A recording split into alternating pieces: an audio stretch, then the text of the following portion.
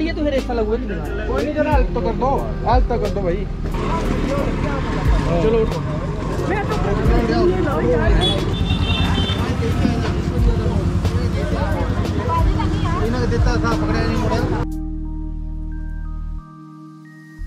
So hello guys welcome to my new blog तो guys कैसे सब? आई होप सब बढ़िया होंगे और बढ़िया होने भी चाहिए। बाकी गाइज़ आप थंबनेल देख के समझ गए होंगे कि भाई हमारे साथ एक ख़तरनाक सीन हो चुका है। तो भाई थंबनेल में आपको इतना पता नहीं लगेगा, लेकिन भाई हमारे साथ काफ़ी ख़तरनाक सीन हो गया था यार। भाई मैं ना भाई उस चीज़ को भूल नहीं पा रहा हूँ। तो भाई हमारे साथ कम से कम इस बात को हुए छः सात दिन हो चुके हैं। तो भाई, पर इतना खतरनाक सीन हो गया था भाई। उस सीन के लिए भाई काफ़ी पापड़ बेलने पड़े, तब जाके सीन सॉल्व हुआ। सो सबसे पहले मैंने आपको बोला कि इंट्रो में दिखा देता हूँ कि भाई जो जो हमारे साथ मोटा मोटा सीन हुआ, उसको दिखाते हैं। फिर मैं आपको सारा वो क्लिप शूट की है मैंने। सो भाई, ये जिस दिन की बात है, जब हमने अपने मॉडिफिकेशन वाला ब्लॉग देख लिया होगा, जिसमें हमने रमन भाई की बाइक में अंडर बैले इंस्टॉल की थी। सो ये उसी ब्लॉग की बात है, शाम को हम घर वापस आ रहे जैसे काम करवा के। तो भाई, जहाँ से निकले हम और मेहरे में एक हमसे, मेरे से आगे बाइक चली थी और उससे पीछे मैं था और मेरे पीछे रमन भाई थे। तो भाई, जो मेरे से आगे बंदा चला था, उसने भाई ना इंडिकेटर दिया और ना ही पीछे देखा। तो भाई उसने एकदम से बाइक हाईवे के बीच में मोड़ने लग पड़ा। भाई मैंने तो कंट्रोल कर ली, लेकिन रमन भाई मेरे से पीछे चले थे तो उनको पता नहीं लगा कि आगे से बंदे ने कट मार दिया है। और रमन भाई ने मेरे से ओवरटेक करने की कोशिश में थे, और जैसे ही भाई बंदा सामने आया तो भाई एकदम से कम से कम सेवेंटी एट्टी की स्पीड होगी। और भाई इतनी स्पीड में कहाँ ही एकदम से बाइक रुकेगी? और भाई जाके भाई सीधा उसमें भीड़ गए रमन भाई। सो सबसे पहले आप क्लिप चेक करो।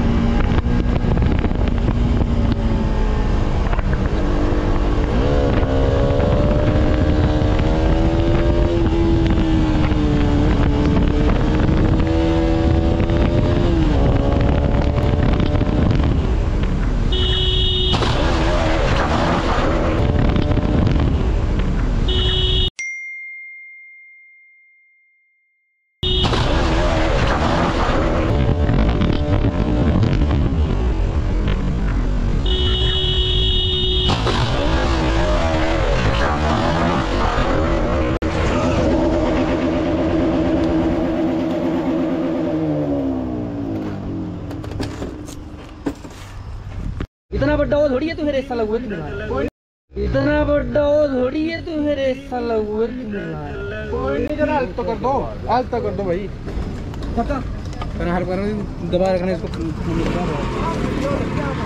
चलो उठो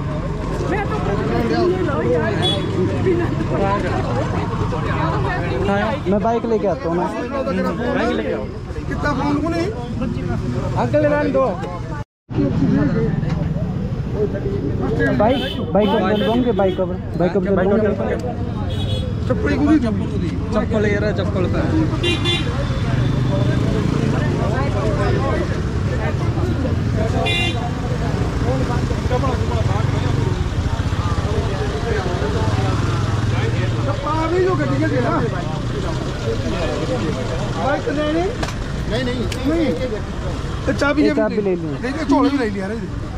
ਇਹ ਝੋਲਾ ਵੀ ਲੈ ਲਿਆ ਰੇ ਇਹ ਥੱਲਾ ਵੀ ਹੈ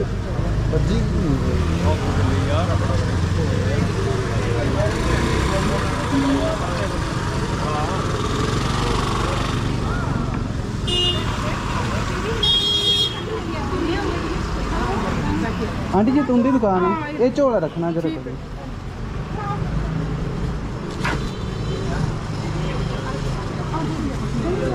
दीदी तू चलाओ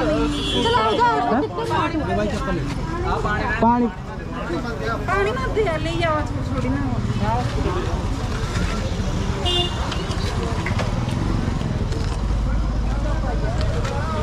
अलग अलग बाइक कवर दे दो है। अगले दिन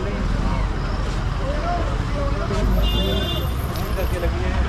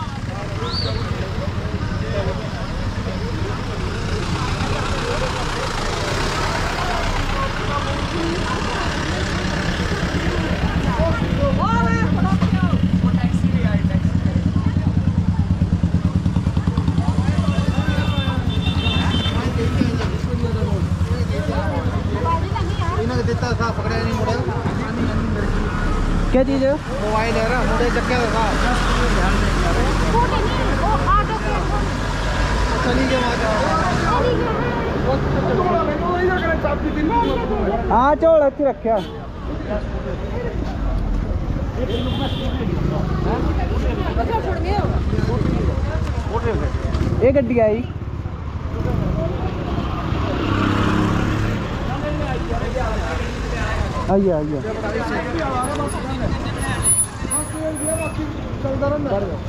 ये दे आई गड्डी गड्डी है।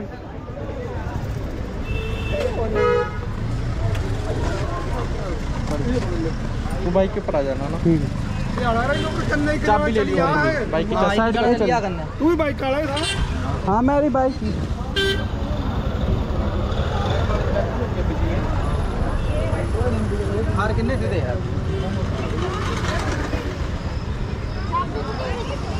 चाबी भी मेरे गई है।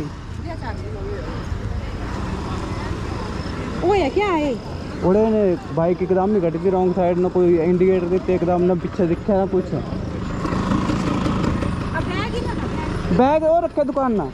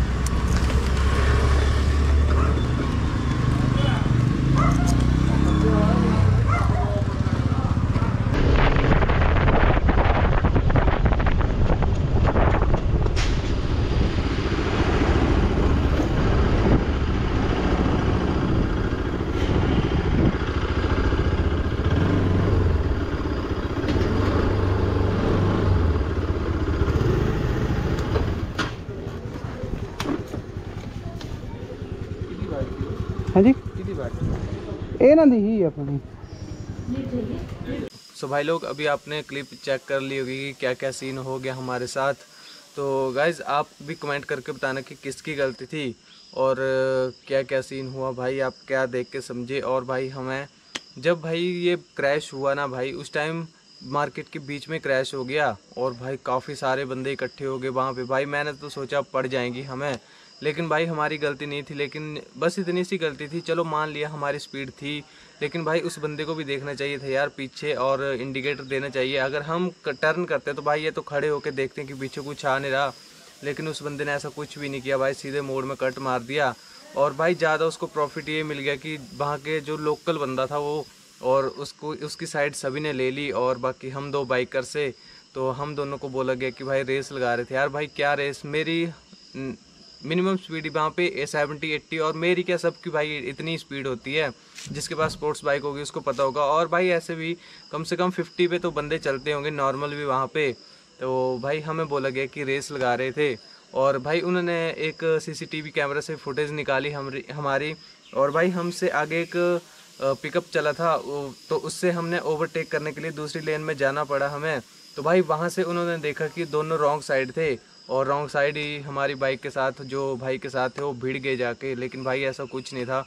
वो फुटेज थी गलत और भाई यहाँ पे थोड़ा न्यूज़ में भी डाल दी थी वो वाली खबर। तो भाई मैंने सोचा वीडियो बनाएँगे और मैंने कमेंट भी किया था उस पर सो भाई उसके बाद जो है जब बाइक हिट हुई उस बंदे के साथ तो भाई रमन भाई की बाइक भी खतरनाक तरीके से गिरी और जो दूसरा बंदा था, वो बाइक के समा बाइक के साथ ही सीधा नाली में गिरा जाके। तो भाई उसकी जो है यहाँ पे पीठ में लग गई थोड़ी सी ज़्यादा और उसकी वजह से चलन जा रहा था। बाकी उन्होंने हाफ़ वाला हेलमेट डाला था और जैसे ही बाइक क्रैश हुई तो भाई जो मिरर था उस हेलमेट का वो टूटा और यहाँ पे उसकी लग गई उनको और थोड़ी सी यहाँ पे। तो उसकी वजह से स्टिचेज लगवाने पड़े उनको और भाई उस वजह से हॉस्पिटल लेके गए उनको और उसके बाद आए उनके घर वाले और भाई घर वालों ने वो सीन देखा और भाई पुलिस को सीधा फ़ोन कर दिया। तो भाई मैंने सोचा, भाई हमारा सीन सॉल्व हो जाएगा, लेकिन जब पुलिस आई तो भाई मैंने बोला, पुलिस का सीन है भाई, ऐसे सॉल्व नहीं होगा। सो मैंने अपने डैडी जी को कॉल की। डैडी ने थोड़ा, उनको कॉल की। डैडी के जो है थोड़े जानने वाले थे पुलिस वाले। तब जाके थोड़ा भाई सीन सॉल्व हुआ, वहाँ पे थोड़ा सीन ठंडा पड़ गया। भाई पुलिस वालों ने भी हमें काफ़ी समझाया, लेकिन भाई हमारी किसी ने नहीं सुनी। यार जब मैं वीडियो दिखाने की कोशिश कर रहा था तो उनके घर वालों ने भाई पता था उनको कि भाई गलती इसकी भी है, इसलिए वो वीडियो चलाने नहीं दे रहे थे। तो हमने काफ़ी कोशिश की पुलिस वालों को भी दिखाने की, लेकिन भाई किसी ने हमारी बात सुनी नहीं। तो मैंने बोला, चलो, कोई बात नहीं। अभी ऐसा है, हमारा रमन भाई जो वो है बाहर का बंदा। अगर लोकल होता भाई, तब भी सीन थोड़ा इतना सॉल्व हो जाता जल्दी, लेकिन वो बाहर का बंदा था, उसने भी घर जाना था और उसकी बाइक भी टूट चुकी थी। तो मैंने बोला कि भाई, जितनी जल्दी हो सके, चाहे पैसे लेन देन करना पड़े थोड़ा बहुत तो हम करेंगे और सीन को सॉल्व कर देंगे।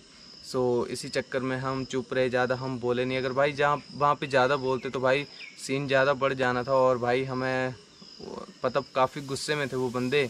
तो कुछ भी सीन आगे बढ़ सकता था, इसलिए हमने, मैंने यही सोचा कि जितना हम चुप रहेंगे, उतना सही रहेगा।